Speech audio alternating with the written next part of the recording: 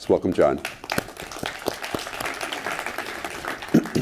So the um, the panels this morning were really good, and I think it gave us a really good perspective, especially from uh, from an agency and a, and a client perspective in terms of what's on their mind and what's important. And I think it'll be a good this this talk will be a good transition as a media company, as a people-based ad platform, part of a premium uh, uh, iconic brand company like Time Inc., to kind of say, as a media entity, what are we doing? How are we working with our clients to improve measurement, to improve attribution, to make sure they're really getting uh, the value that they're looking for with their ad spend? So I'm going to really zero in on kind of three topics today. Um, I'm going to I'm going to talk about a people-based foundation and what that means and why that's important. I'm going to talk about cross-channel because, as you heard with uh, multi-touch attribution and and everything here, it's it's really when you look at it from a pe- through a people lens, it's holistic. It doesn't matter if I'm on my smartphone, my tablet, my laptop. If you're an influencer, if you're a target customer, that's who I want to talk to. Um, and then I'm going to get into a case study and talk a little bit about experimental design and what we're doing at Viant and how we're working with and trying to enable our our clients to be more impactful with their ad spend. So if you look at identity and the evolution of identity, it's really interesting. I I like this chart to kind of look at early days, you know, direct mail in the mailbox based on your home address. Your phone number comes in. Then email becomes prevalent, and people are contacting you or communicating you through email. And then you have the rise of the internet. And what happened then is we went from pretty exacting um, identifiers to something that was a little more fuzzy. And it turned into this cookie that was attached to this device that was a little bit less exacting than some of the earlier metrics. And then we fast forward to today, where we've got IP address, we've got device IDs, we've got all these different identifiers that tie back. Some of them tie back to machines. Some of them tie back to households. Some of them tie back to individuals. So you can see over the spectrum and how it's just layered on top and gotten even more complicated. But but what's emerged the last couple years, and if you if you follow the industry and you follow Facebook's quarterly earnings, is you see that this concept or idea of people-based advertising is really taking hold and and, and looking at and identifying real people and advertising and and talking to real people. Uh, and it's, and it's, really, it's really emerged in a big way. So we use this illustration. This is our this is Kate Anderson. She's our uh, she's our favorite example uh, here. But if you look at it from a proxy perspective and you look at, um, I guess it would be to your to your right side, um, it used to be that it was we we think this person's 25 to 54, likely female. We think we know what DMA uh, that she lives in. We don't really know her email address. We don't really know that much about her devices. We know a little bit about our web traversal data because we can we can follow and track that. But that's kind of the picture that we have. And then you and then you look at it through a people-based lens. Now, Kate, we know her name is Kate Anderson. She's 32 years old. She's female. She lives in Chicago. We have her email address. We know what devices she uses and tie that back to the household IP, as well as her behaviors. But then you, you build that profile even more rich to say, OK, I don't just care about what she does online. I actually care about what she does offline. So she likes to subscribe to CRM lists, right? Maybe she's into couponing. Um, she buys Tropicana orange juice and Chex cereal. So we start to get into what brand she buys at the grocery store.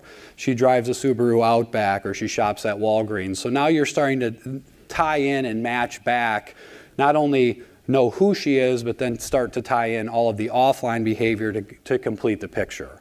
So when we talk about a people-based approach, that's what we mean. We mean holistically looking at um, that that customer and all the attributes of that customer.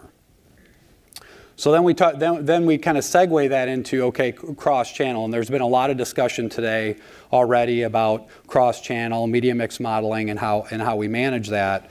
Um, this is from uh, this is a chart that I borrowed from Nielsen, looking at um, consumption, media consumption, or video consumption, looking at Q1 of 2014 to Q1 of 2016. So really over a 24-month period, um, live TV, DVR, as well as streaming video. And streaming video is kind of all in, right? This is primarily driven, I'm sure, by mobile video consumption. But it's smartphones, it's computers, it's multimedia devices, game consoles, all in. And the biggest thing you'll notice is TV is still extremely significant, right? TV is not going away. the biggest screen in the house, very significant here, but it has slightly declined over that period of time. But where all the growth is, is in streaming video. And you see a total, the total hours obviously actually being more as well. And, and again, because that smartphone is with you, with you all the time. The, the challenge has been, and this has come up earlier, is how do you bring TV into the mix? You've got the biggest screen in the home, you've got a preponderance of time spent there, a lot of ad budget going there. How do we bring the TV into the measurement fold? How can we attribute that? If they saw an ad, did they go to the store? Did they purchase my product? Most uh, smart TVs sold after 2012 are actually um, have a technology in them called ACR, which is auto content recognition. And they're starting to be inroads now in using that as a better means beyond panels or beyond set-top boxes or, or the like to really get down to the household level and really understand the TV viewing habits. So it gets into programming and advertising that's coming through the cable box, OTT content, which wouldn't be captured by the cable box, but it's coming over the top, whether it's Netflix, Amazon Prime, et cetera. And then all the things that you would want to know time of day, network, channel, program, duration, et cetera. So it creates a more robust uh, set of data and it brings the TV into the measurement mix. This is an interesting uh, stat. This one's from Accenture. 82% um, of customers who switch brands say companies could have retained them with a more seamless cross-channel experience. And I think the most simple example when you think about cross-channel is maybe somebody purchasing online and then trying to return that item at the store, at the brick and mortar store, and having that inconsistency there. But it's, it's really incumbent on on, on companies to, to break down those walls and really think about a seamless experience. Whether that customer approaches you online, maybe they only research online and they buy in store, but you need to make that a very, a very seamless experience. So the goal here is a holistic view of the customer. So now here's Kate. We, we, we have her demographic information. We have her device graph and her profile.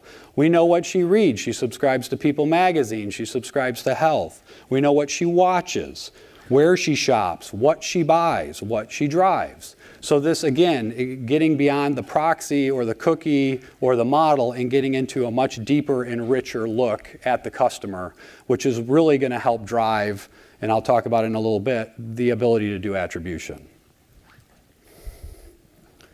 And then at the end of the day, and I won't, you know, talk a lot about this, but then technology brings it all together, right? This is all great in theory and concept. For us, it's the it's our platform, the Viant Advertising Cloud, where we store all the identity information, we execute the media, and we do the measurement. So um, again, I, this isn't about the technology side of it, but you know that is really what brings it all together. Whatever platform it is you're using, how you're how you're able to connect the dots and bring it together. So that brings us to the challenges of attribution. And through our lens, it's really about real people, not proxies, and real people wherever they are or whatever device they happen to be on. These are some headlines around, you know, and these are, these are pretty recent. Dangerous question, does internet advertising work at all? We have a, no idea if online ads work. Um, you've got the old analogy, I know 50% of my marketing works, I just don't know which 50%. Um, and then this last one that talks about um, if you're not running a randomized controlled experiment, you probably don't know. Um, and that's something that we kind of took to heart. So, you know, earlier this year, our, our research team started working on this in conjunction with some of our clients and really starting to try to figure this out and, and do a better job on the measurement side. So in our mind, experimental design is the gold standard. Um, and I'll talk a little bit about, about what we do and how we do it, and I have a case study. So for Viant causal, we call it causal attribution. We look at things like impact of in-store sales, online sales. We've done a lot with TV tune-in, uh, as well as brand lift um, and, and, and brand resonance in terms of how we look at it. So how does it work? So every ad call runs through a randomizing um, algorithm on IP address. Again, we start everything at the household level with the household IP and the devices are, are connected to that household. An algorithm assigns the IP to tester control. So we're not, we're not creating a modeled group or anything like that. We're, we're, we're doing, we're doing an, an assignment vis-a-vis -vis an algorithm. Targeting for test and control segments is identical. We're not treating them differently because, again, we want a true view of how is the campaign truly impacting. And then lift, you know, test minus control divided by control. So how, how we measure lift. So the, so the example that I have um, is a casual dining restaurant. We've, we've run a few of these throughout the course of the year, but the one I wanted to show, because there's a few different dimensions here. So kind of two, two things, more customers and more spend by the customers that, that, that arrive, right? So I want, I want more customers coming through my door, and the customers that come, I want them, I want a bigger check, I want them spending more. So on the, on the more customer side, we had a 16% uh, increase in, in likelihood to dine in that restaurant. And, and for the check, we had a $3 increase uh, in, in the check. Now, casual dining, obviously, we're not talking about high end here in terms of the size of the check. All in, the return on ad spend was $1.37.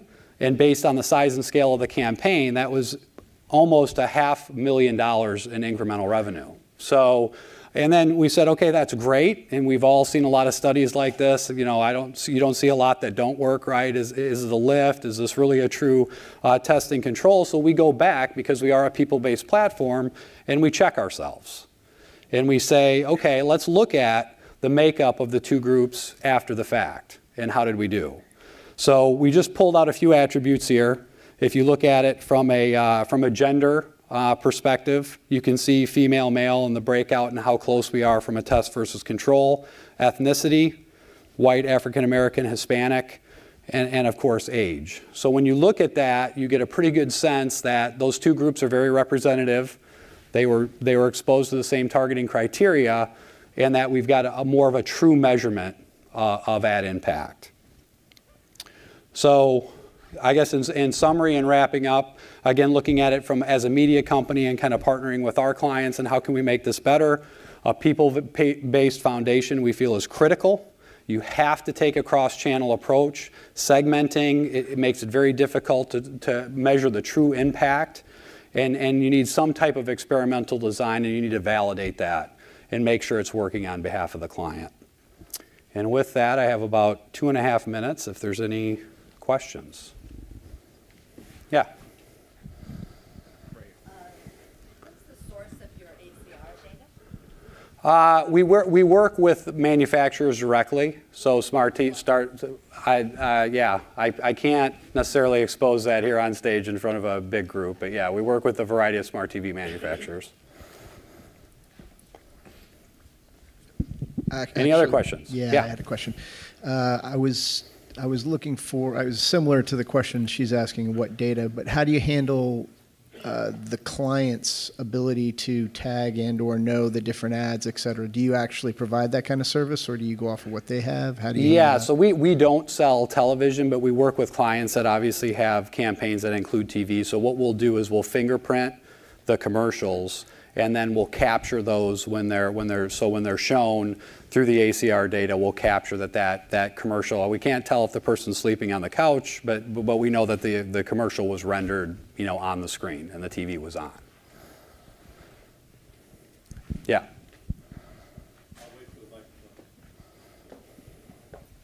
Am I getting the, getting the boot? Subtle. Hi, uh, Mike Hess with U.S. International Media. I heard somebody in the hallway a minute ago saying, let's inject more controversy into the meeting. So I don't know if this question is controversial, but could you talk more about causality? Like, I think this is one of the first times, frankly, I've ever heard the word causal as opposed to correlational injected into an attribution discussion. So I'm excited by that, but talk more why you know, the why and wherefore of causality and how strongly you feel that this stuff is really causal the way you're doing it. I think that's a fantastic question, and because I'm getting the hook, and I also have my head of research and analytics here, and we're going into a break, I will invite you to come down front and we can we can talk about that. All right. Thank you very much. I appreciate it.